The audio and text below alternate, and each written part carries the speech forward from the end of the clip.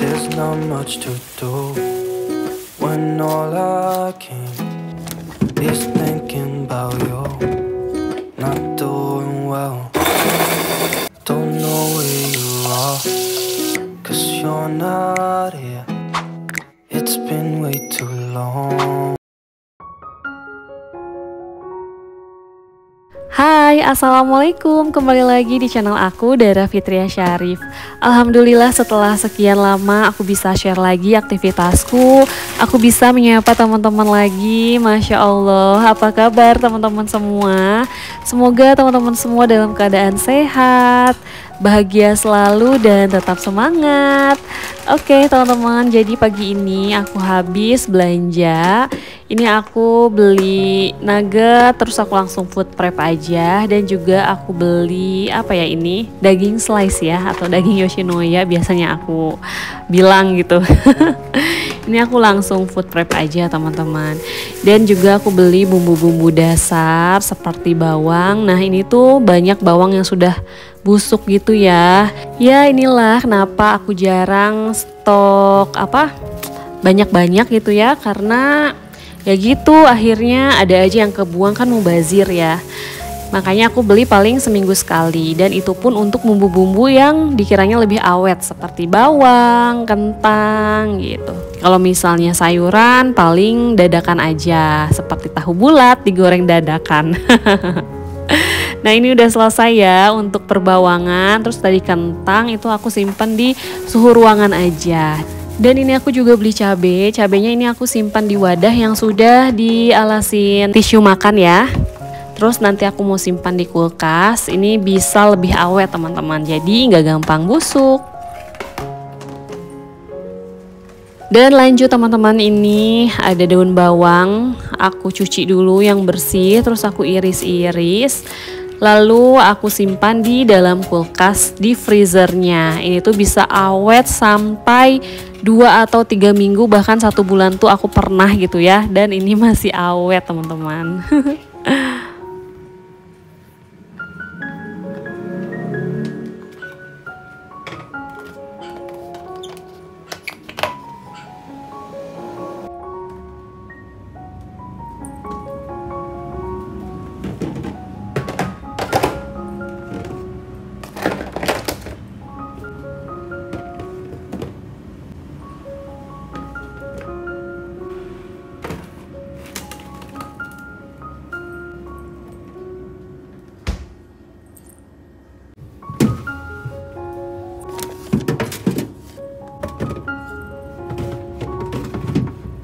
Oke lanjut cuci baju nih teman-teman.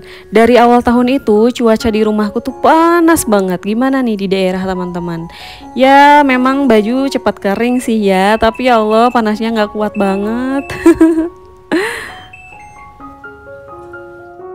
Lanjut ini aku goreng nugget teman-teman. Aku hari ini gak masak macam-macam Cuman goreng nugget aja. Terus nanti juga aku mau dadar telur Sama sambal bawang deh. Dan hari ini tuh cuman masak tiga menu aja. Tapi alhamdulillah tiga menu juga udah nikmat banget ya. Apalagi dimakan pas lapar sama nasi panas. Masya Allah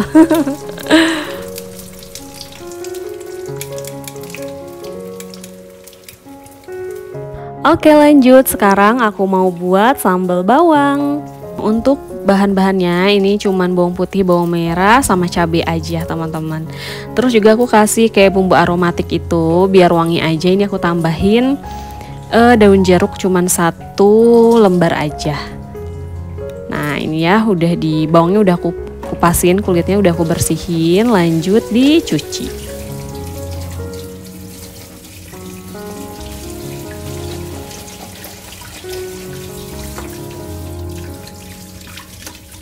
Oke, setelah selesai dicuci, ini aku mau halusin semua bumbunya menggunakan chopper.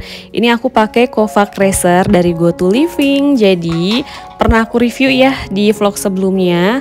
Dan buat teman-teman yang belum lihat, boleh di scroll ke bawah pas aku buat dimsum ya. Aku giling dagingnya tuh pakai Kovac Racer ini. Jujur ini tuh enak banget dipakainya. Pokoknya bermanfaat banget deh bisa buat giling apa daging, bisa juga buat giling bumbu. Kalau teman-teman lagi perlu chopper dan musamaan, aku simpan linknya di description box ya.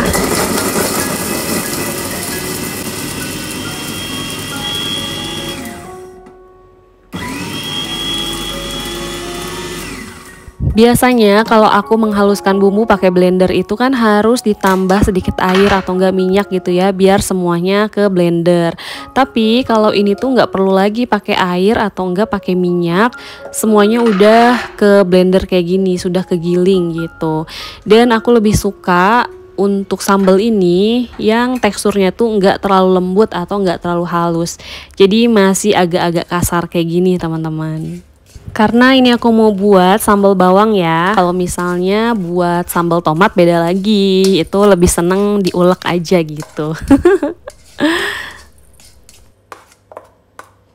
Oke lanjut ya, ini aku tambahin gula, garam, dan kaldu jamur sesuai selera aja ya teman-teman. Seperti biasa, enggak pakai takaran. Berdasarkan feeling. Oke selesai, sekarang kita siapkan minyak panas Nah untuk minyaknya sendiri harus benar-benar panas ya Baru kita masukin bumbu yang tadi sudah dihaluskan.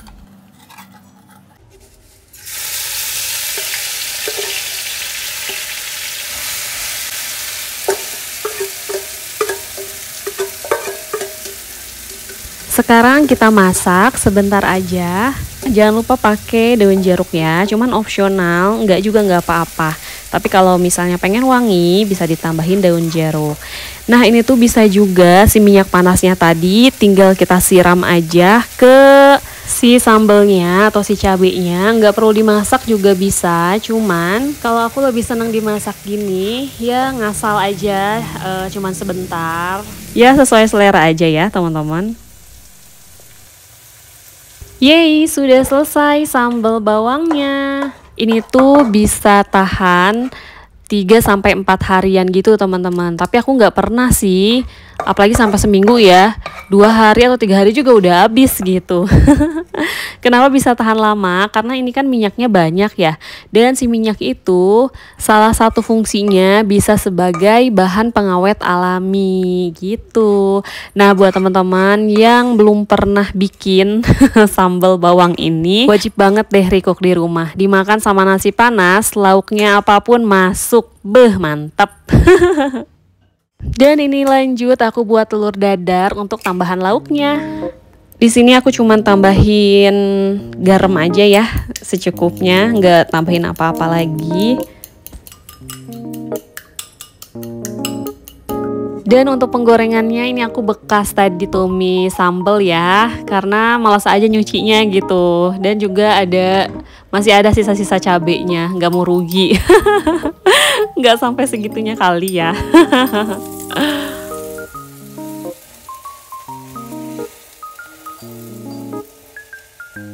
Oke, okay, selesai. Selamat makan ya teman-teman. Makan siang aku gini aja karena malas masak.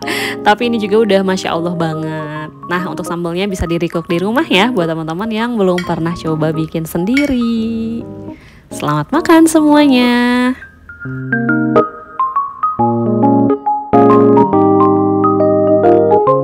Dan lanjut setelah isi bensin alias isi perut gitu ya Kembali lagi semangat untuk bekerja Cie.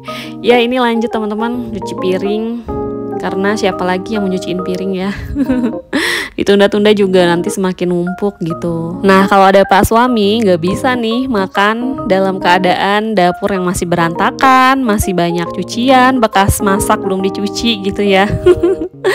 Walaupun kalau misalnya aku udah keburu lapar gitu ya dan makan duluan, terus pak suami juga pengen makan tapi masih ngeliat banyak cucian, dapur masih berantakan. Alhamdulillahnya beliau tuh mau gitu bantuin nyuci piring gitu nyuci peralatan masak enak juga ya. Tapi kan gak selalu kayak gitu ya. Jadi kalau ada pak suami sih sebisa mungkin aku beresin dulu dapurnya dan cuciin dulu peralatan masaknya gitu. Kadang kan se apa sambil masak sambil nyuci juga kan disambil gitu. Jadi masakan selesai cucian selesai gitu dan bisa langsung makan. Dan karena sekarang gak ada pak suami jadi lebih bebas ya udah keburu lapar yang penting perut uh, udah diisi gitu. Jadi ya udah nyucinya sekalian nyuci piring bekas makan dan lanjut ini beres-beres dapurnya. Seperti biasa ya setelah selesai masak ini lap-lap top table lap-lap uh, apa kompor gitu biar bersih. Dan sekarang lanjut beresin meja makannya By the way, aku mau ucapin terima kasih ya buat teman-teman yang selalu perhatian, yang selalu support gitu ya. Karena kemarin aku udah lama gitu ya nggak upload video di YouTube ada beberapa teman yang tanya, yang DM gitu, masya Allah banget. Itu tuh udah kayak mood booster buat aku, terus juga nanyain kabar. Alhamdulillah aku sehat. Kemarin tuh nggak sempat upload YouTube karena memang ada beberapa kerjaan di Instagram untuk buat reels. Terus juga kesibukan di dunia nyata. Anak juga sudah mulai kembali sekolah. Terus nggak tahu kenapa aku tuh kayak cepet capek gitu teman-teman. Jadi nggak sempat ngedit. Sebenarnya banyak ini video yang belum diedit. Jadi kayak pas tahun baru gitu ya sebenarnya aku udah buat video pas tahun baru gitu. Nanti insya Allah aku mau upload di sini buat kenang-kenangan minimal buat aku pribadi gitu ya.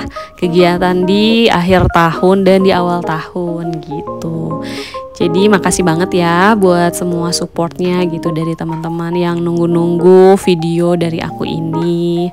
Alhamdulillah, masya Allah aku seneng banget kalau misalnya video aku ini kasih manfaat buat teman-teman.